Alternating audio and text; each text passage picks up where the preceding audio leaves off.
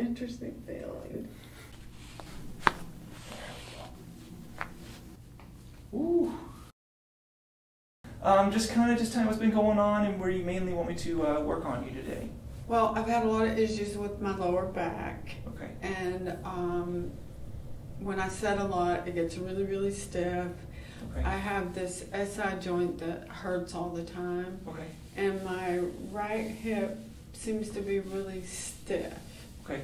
And um, I've done a lot of different things for it, and it doesn't seem to work. Okay. So Okay. I thought maybe you can Just try, try- to help a little. Okay. So, and then I just have, that bothers me, which I've learned to stretch it a lot, and just this trigger point, right? Just right in the shoulder. And you will probably be able to feel it. I feel it. You'll, you'll feel the, Yeah. you'll, you'll feel it. It's, you'll be able to tell the difference on this. And then, other than that, I don't, I really don't have any issues. Well, that's good. I'm, I'm pretty, Yeah, I can see how all this is pushed out on this right side a little bit more. and then when, you can probably tell now that you're touching it, like, you can probably see the shoulder. Yeah, no, I can definitely see over. from the back. Yeah, the shoulder is more rolled forward. Yeah, So yes, we do have a little bit. We do have to fight against. You do have it. I did see they said some foraminal narrowing. So if you don't know what foraminal narrowing is, so foramina just means hole. it means what? Hole. Oh, oh, a hole, okay. Yeah. So you have these little foramens that go through here on the side of the spine that these nerves exit out of. So when they narrow, they just kind of go up and they just narrow this hole. The hole just gets smaller. So it ends up just kind of pinching these nerves. So if there's already some there, there's no way to change that. All we can do is try to mitigate further degeneration where it actually starts to really pinch the nerve and then the nerve can the nerve can be choked and then the nerve can die. So we don't want the nerves to get killed. Because once they die in here, these won't regenerate. They won't. No. These these central ones, once they're gone, they're done. There's no way to get these back. So we have to try to keep that foraminal narrowing to keep it open. What do you do to do this? So in order to do that, we have to get the other areas moving. Oh, okay. So we have to Okay, put the curvatures back in the spine where they need to be okay. to alleviate the pressure off of the nerves. As you go back, you're going to actually open up these holes because that's where the, we should be living. But as soon as you go forward, you're going to push the disc that way. And then the disc ends up pushing on the nerve. These holes, they start to calcify. So that's when you get your foraminal narrowing.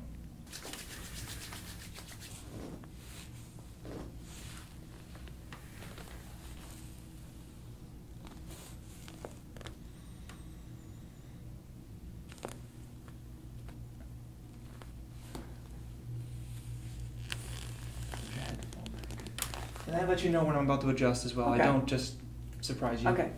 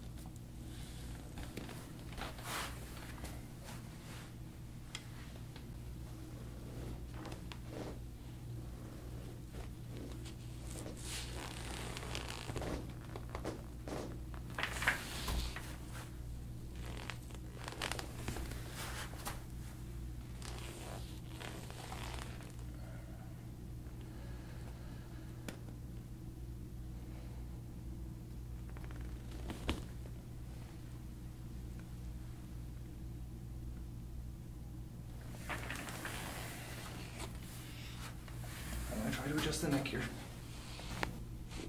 Oh, a little bit already.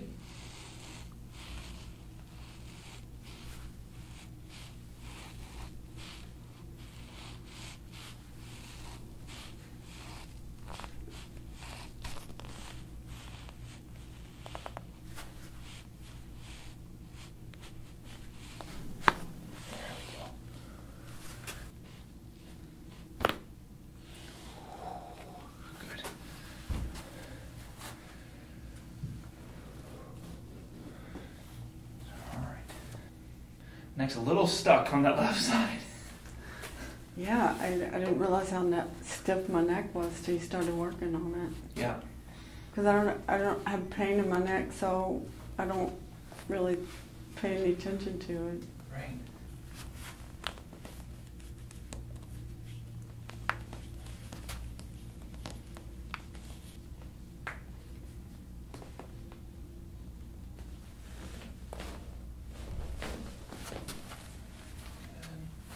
Hip.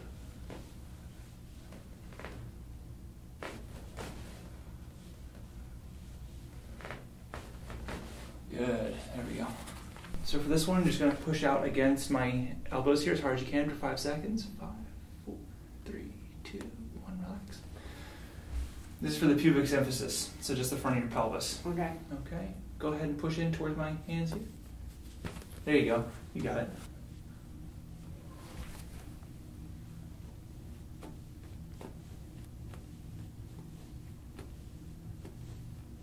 Yeah, right hip stuck.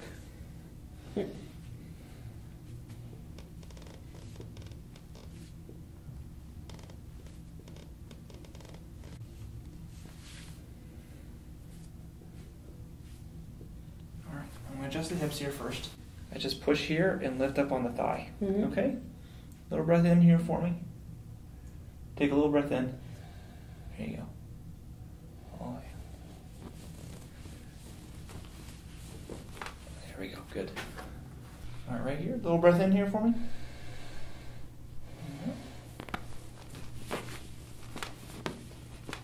Good. All right, here. Deep breath in here for me. All right.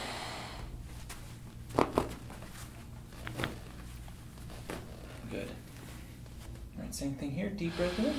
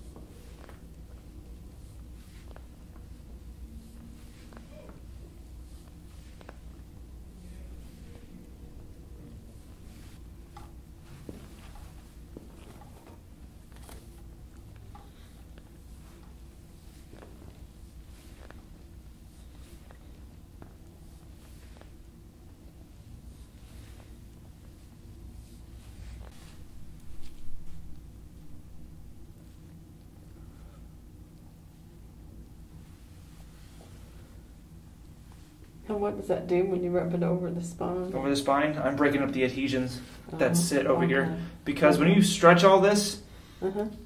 this also congeals. So this blood just sits here Oh. until something moves, Oh. tries to get it moving.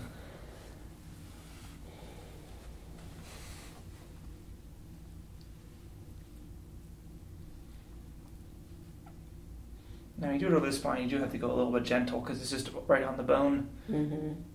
So you can't really. I'm not pushing all that much on it.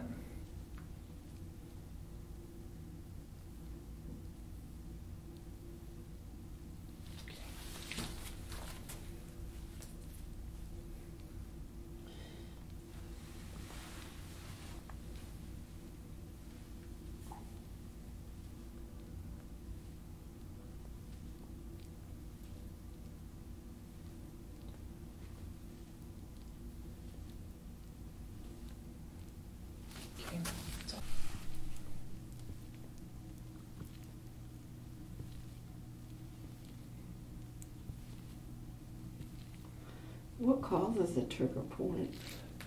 Overuse, Mm. using one muscle over and over and over again. Mm. That makes sense. Mm-hmm.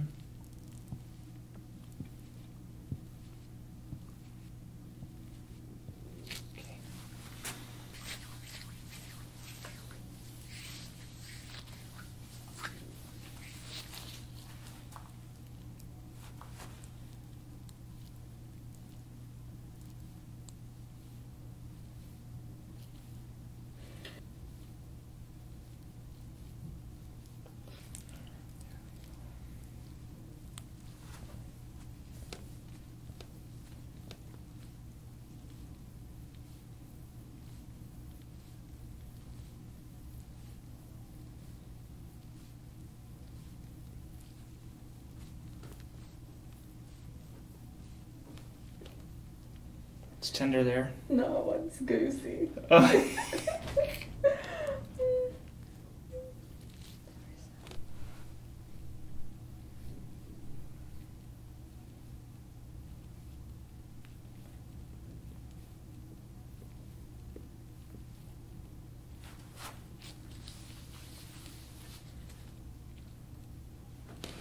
Oh, Ooh. it just, it just, it doesn't hurt. It's a interesting feeling. Okay, no.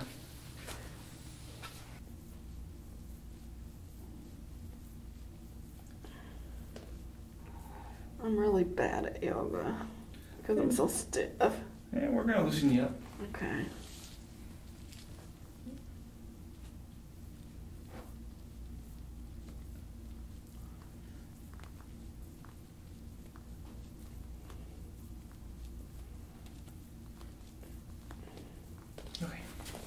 Go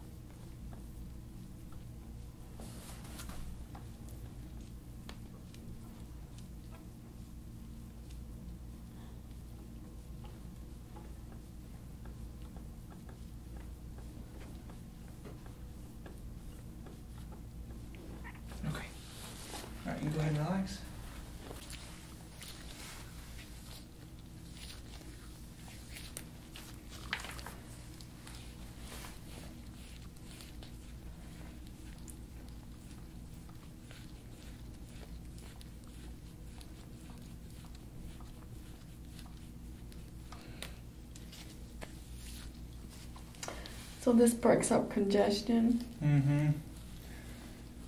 Tries to bring new blood, new tissue in here. Gives you some flexibility.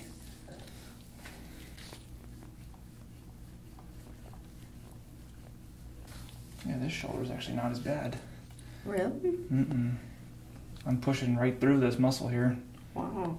There's no there's no trap here. That's probably why the shoulders roll forward on your right side because there's this note the trap here has it's just not there. Oh, really? Mm-hmm. Don't need to do trap. I wouldn't do trap exercises. No. No, I would just leave it alone. The reason why is because when you raise your shoulders, it actually goes into your neck here. Oh. So I actually need this guy to relax.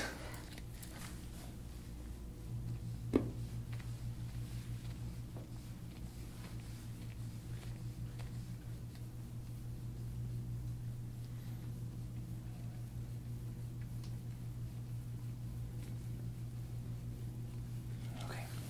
You can go ahead and relax your neck. You can bring your chin back up.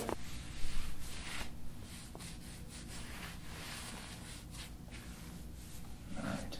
How you feeling so far? Good. Really good. Feel a little squished? Okay. No, I feel good. Oh, good. All right. I'll show you your back here. Oh yeah. Yeah. Oh wow. That'll be some good circulation. huh? Yeah. But you can see how you're very low back here. Barely any bruising.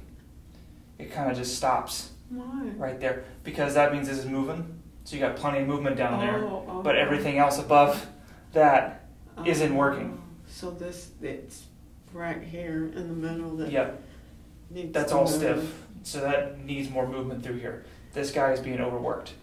Same thing in the neck as well. Barely any bruising into the neck here on the lower part. Now, these creases here, this tells me where your movement is happening in your neck. This crease here on your right side means your right side's doing a lot of work. You barely have any crease here on the left. So this left side's completely closed. Now this other crease here has moved up because now that this work, since this guy on this side has stopped working, now the guy above it is now having to try to work That's great. to compensate for that loss of motion in the lower neck. We're gonna do the shoulder. So just gonna have your hands on your hips like this for me. Sit up as straight as you can, head back, good. And then you're just gonna push back with the elbow here. Push back. Yeah, there you go. You got it. That's it. Mm-hmm. She's like, that's it. It was, yeah, your shoulder moved really nicely. Elbow. Good. Wrist. Just lean away from me. Pull. There we go. Hmm. Relax.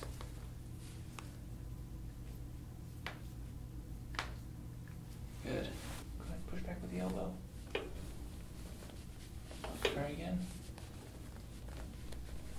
That's it. That's all it's gonna go. Okay. Elbow.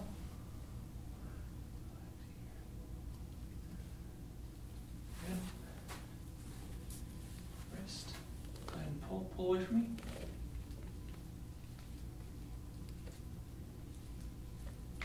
There we go.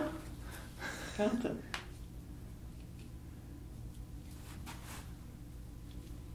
All right, good. And then go ahead and just take your left shoulder for me.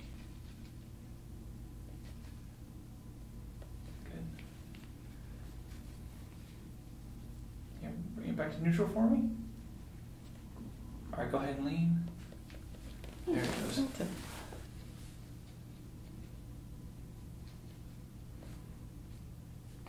Ooh, that was a good one.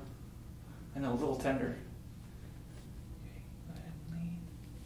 There it goes. All right. That one let go quickly. Yeah. All right. How you feeling? Good. Feeling good? I feel good. All right. Well, thank you so much for coming in. Thank I'm you. glad we could help you.